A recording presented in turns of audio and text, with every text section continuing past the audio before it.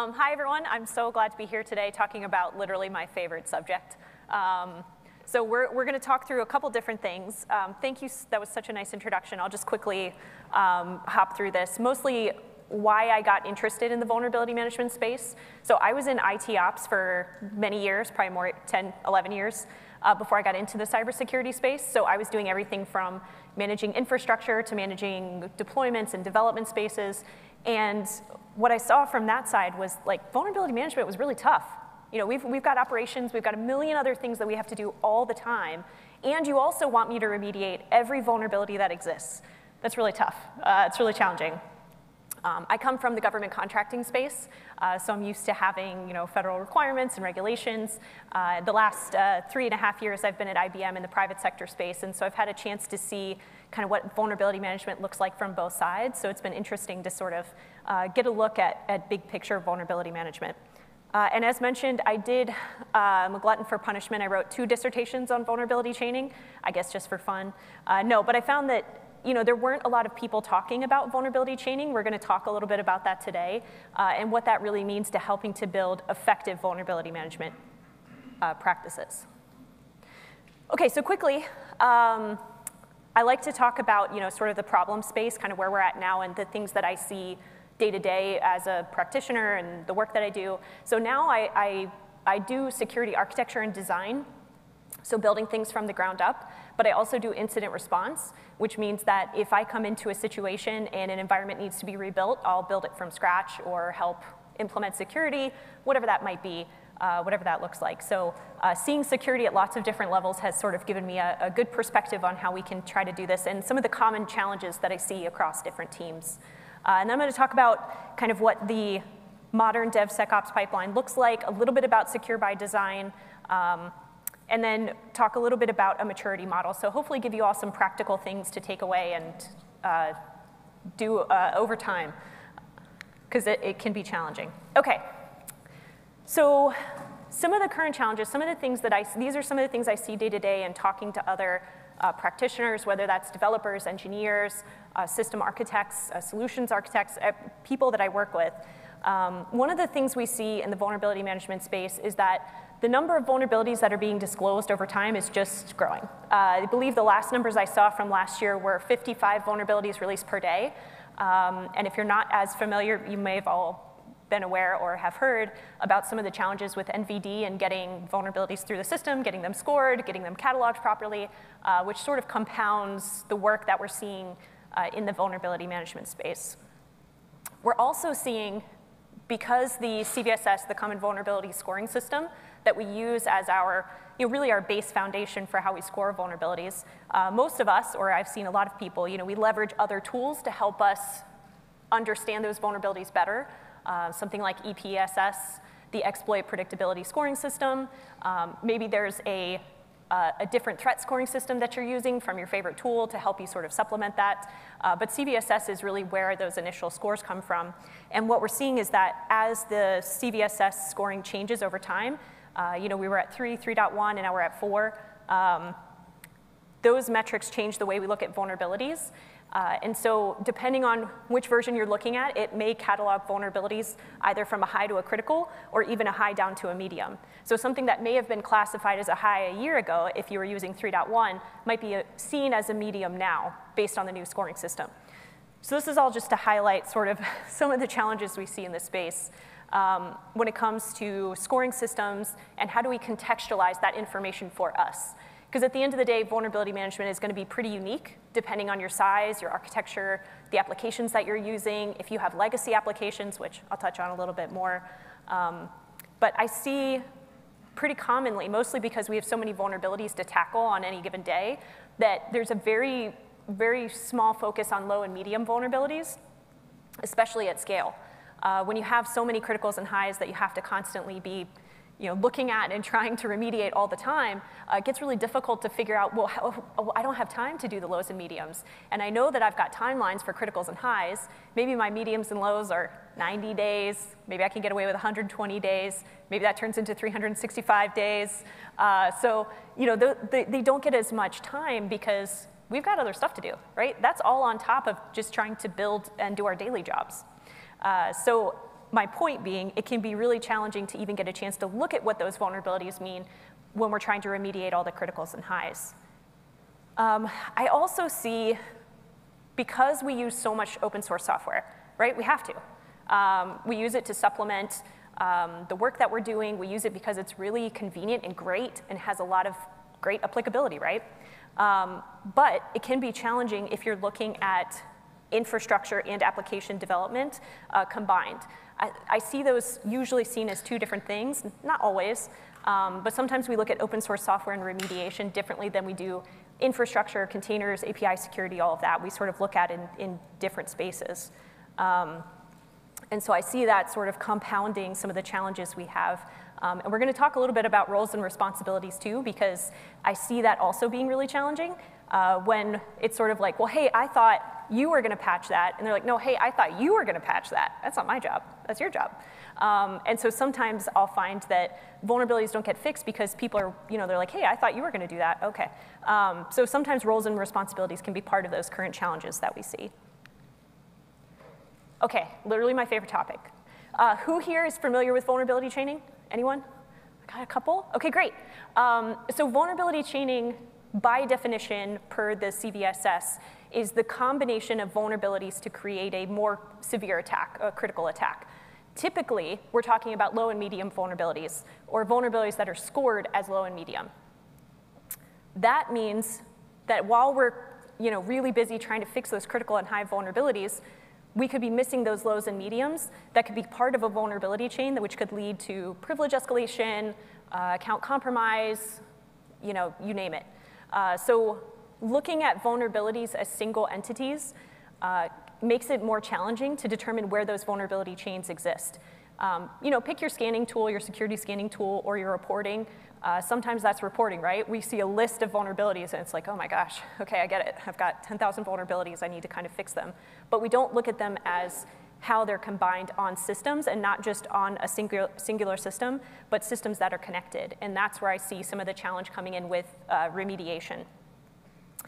Um, every time, so I'm, you know, blue teamer, I'm on the blue side, right? I'm trying to fix things. Every time I talk to red teamers about this, because there's a very the amount of information that's out there about vulnerability chaining is pretty small. We, we are seeing more vendors come out with vulnerability uh, chained um, disclosures, uh, marking two vulnerabilities together as part of their disclosure, um, and talking about how one can be used together, but that's within one product, or maybe one application, or maybe one OS layer. We're not talking about system-wide, right? Or how vulnerabilities across multiple applications could be used together. So that's where I see the challenge. Um, and it also takes a, a, lot of time to try to figure this out in your own environment, right? If you're constantly trying to take the time to do remediation, it can be really challenging to say, okay, let me set aside a couple of weeks and figure out what all these vulnerabilities actually mean together, right? Okay, yeah, I have an SSL vulnerability. Uh, what does that mean? It's scored as a low. Is that really gonna impact me or not? Is that really gonna be a hop that somebody could make from there to somewhere else? And now I need to try to figure that out. Um, and when I talk about vulnerability chaining, I hear people say, oh yeah, the software supply chain.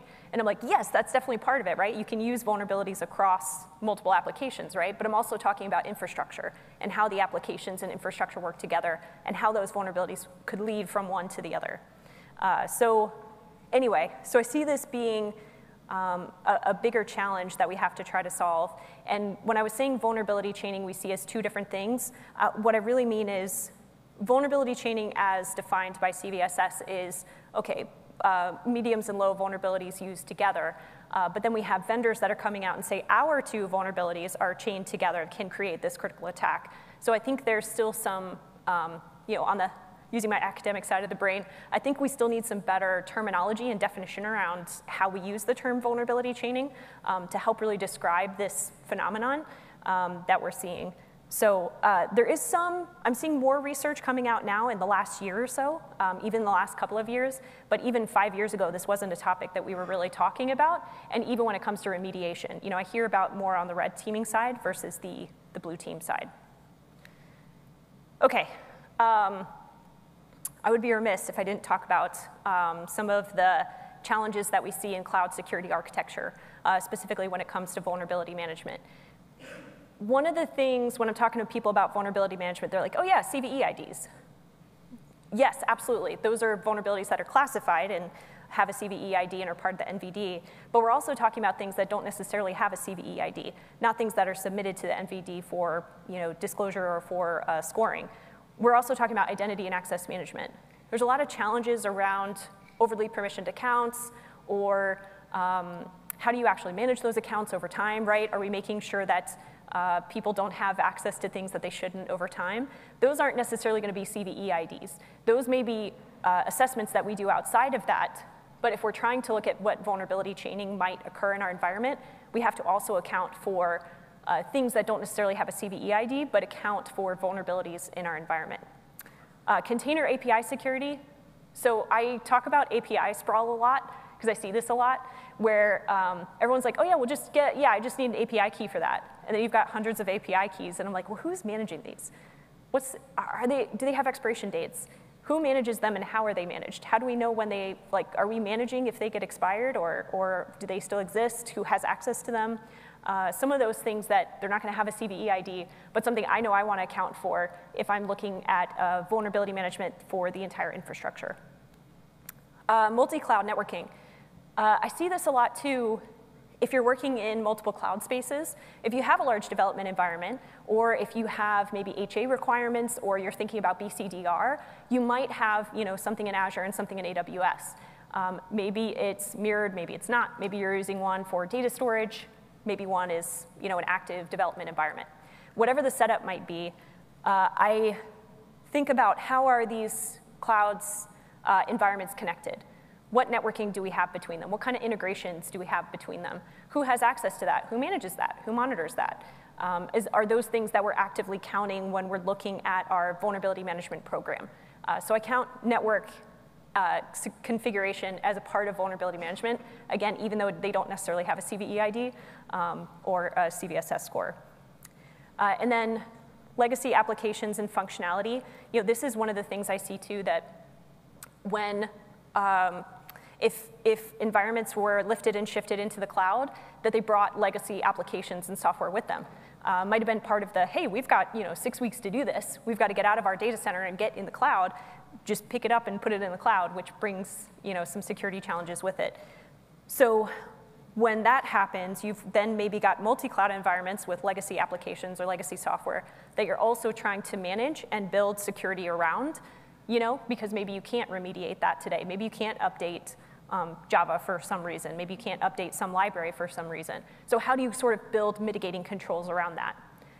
And that gets into the vulnerability management being something where you, know, you have to remediate every vulnerability. It's, you know, it's not always about that. Sometimes it's about, hey, um, you know, I've got to keep this environment in place for six months. How do I secure it until I can get rid of it?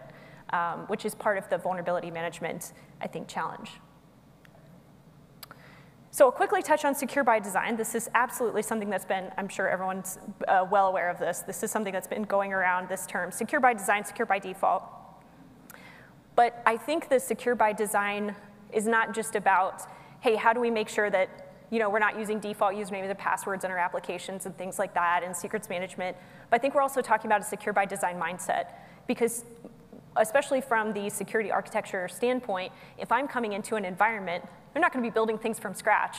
They're not going to say, hey, I'm building from secure, uh, secure by default today. Usually it's, hey, I've got an environment that exists today. How can I take that mindset of, you know, I really shouldn't be doing these practices or I should really find a way to kind of get away from this? So bringing that mindset into environments that currently exist, not just saying, well, I'm building a new product, I should probably do this. Um, so secrets management being one of the biggest things I know I've, in the last year or so, uh, we've seen a number of different attacks, um, specifically around secrets management um, and identity and access management, so protecting our accounts. Um, and what I see commonly is you know, we've kind of gotten ourselves into this place where we have environments where we've got to figure out, okay, how do I secure this today? Not just what did we do yesterday, but okay, let's take a look at how this environment exists today.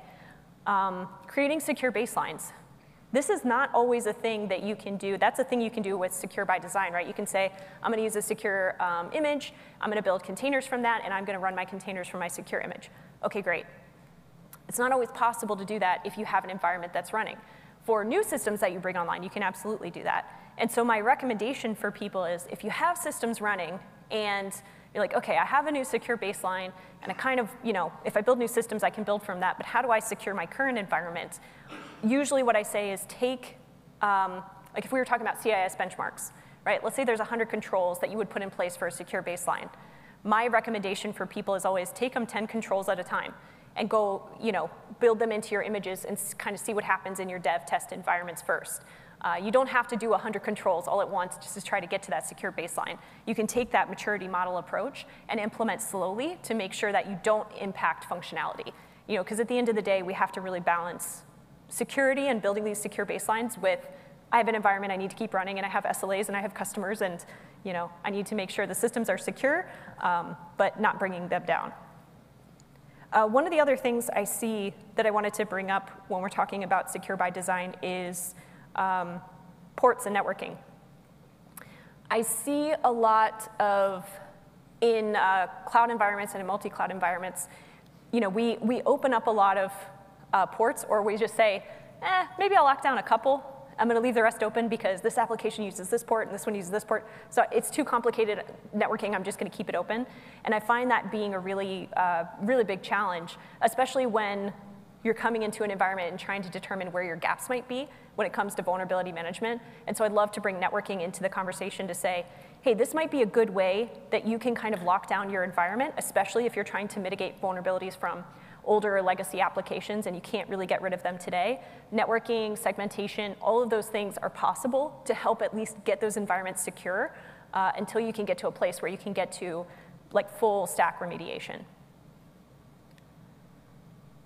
Okay, this is where I'm gonna spend the most time. Uh, this is, these are a few things, again, that you can sort of uh, take with you and, and build with you over time. And I am going to leave um, some time for questions too.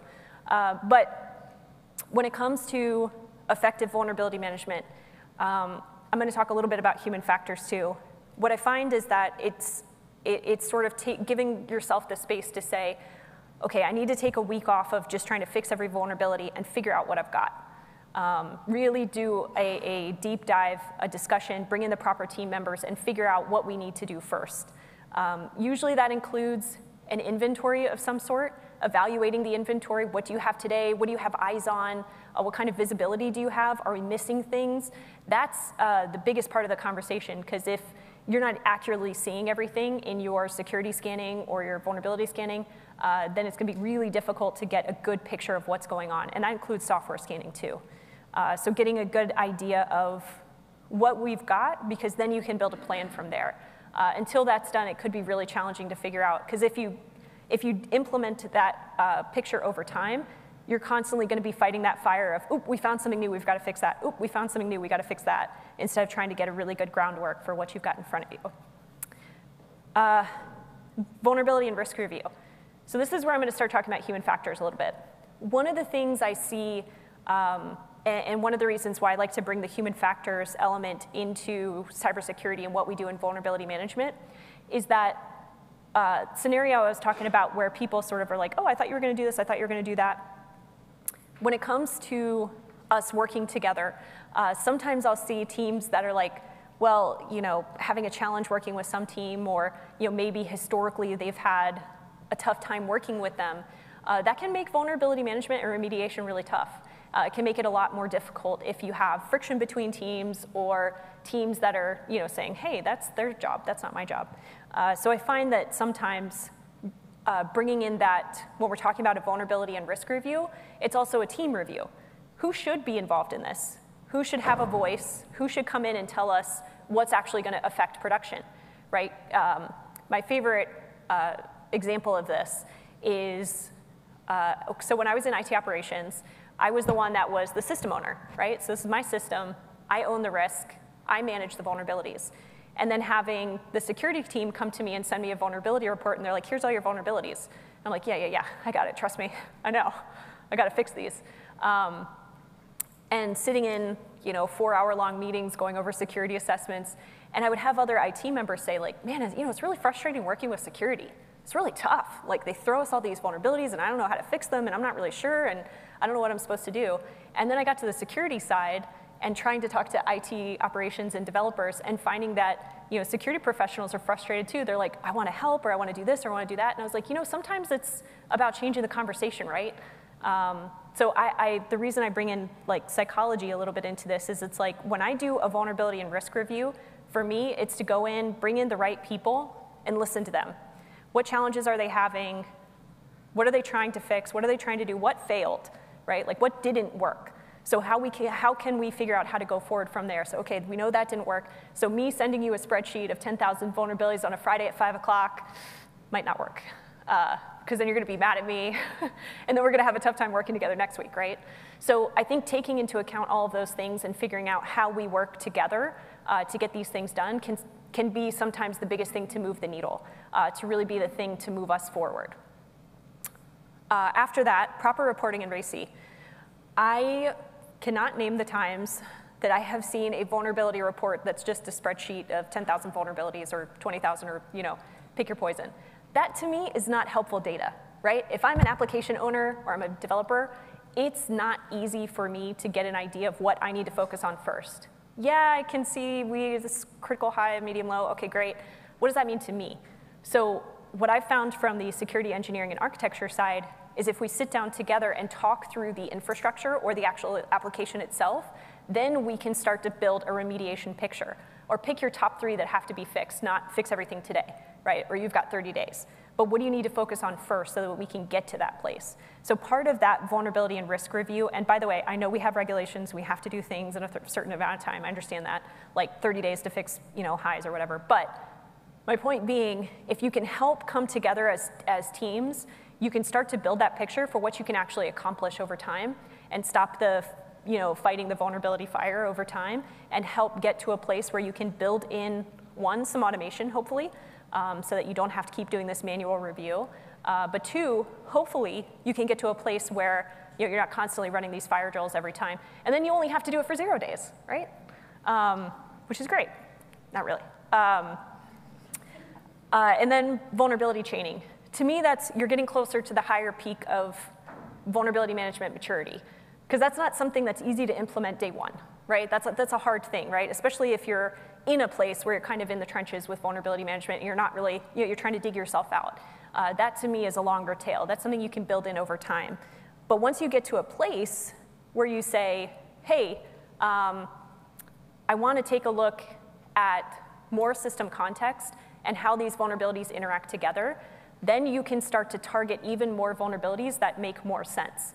So once you've got your sort of normal cadence of remediation, uh, then you can start to say, okay, there's this low medium, or there's this low vulnerability that's been hanging out. I see that it's highly exploitable. I'm not entirely sure why it's scored as low, but it is. Uh, let me see what this means to me. Then you can dig in and spend the time on specific vulnerabilities and uh, spend those times fixing lows and mediums. To give you an example, so I was uh, doing vulnerability reporting and uh, talking about why vulnerability chaining was important. Um, one of my executives, this was many years ago, said, um, yeah, I don't care about that. I don't care about lows and mediums. I said, okay, uh, let me change the way I interpret this data. So what I did was I changed my reporting to highly exploitable vulnerabilities and actively exploited vulnerabilities because when I changed that report, lows and mediums started showing up on that report. And some of them were pretty high on that report. And it was like, wait, they're highly exploitable, how? And then we started to have the conversation of how they could be exploited. Whether an active exploit was available or not, this is how it could be done and be leveraged to get to this other vulnerability. So sometimes changing the data helps you know, to sort of see what the bigger picture is. So anyway, I wanted to provide that example because that was one of the ways that I was able to say, no, vulnerability chaining is important to our vulnerability management program, here's why. Uh, and then human factors review. Again, this is, this is not something that you can really do day one, but I do encourage it. Human factors as a discipline is really about how do we create tools, um, software, applications for the people that use them. To me, that includes security. How do I build security into tools and applications that make sense for the people that are going to use the applications?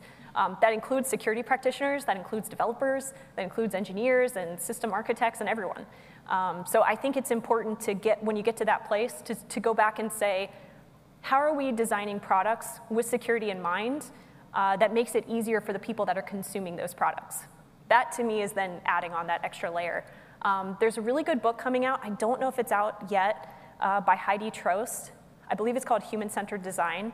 Um, but she's building essentially a design book for um, UX and UI designers with security in mind. So how do you build security into uh, the design for your customers and your users? So I know I'm personally excited to read that book. Um, I think it might be out, I'm not quite sure. Anyway, uh, that to me is like getting to that place where you can start to really think, how do I implement security that makes sense for the people that are using it? Uh, okay, I think we're getting close to time. So um, this is the book that I wrote. There is a human factors um, chapter in there and a vulnerability chaining chapter because um, you know I had to uh, include them. Um, but really what I hope you all take away is that it's, it, you know, when it comes to vulnerability management and we're talking about DevSecOps and, and building a really good pipeline, um, Start small, don't feel like you have to tackle everything at once, um, and you can certainly build in those things over time. And depending on where you're already at in your vulnerability management picture, you can still build on there and mature from there.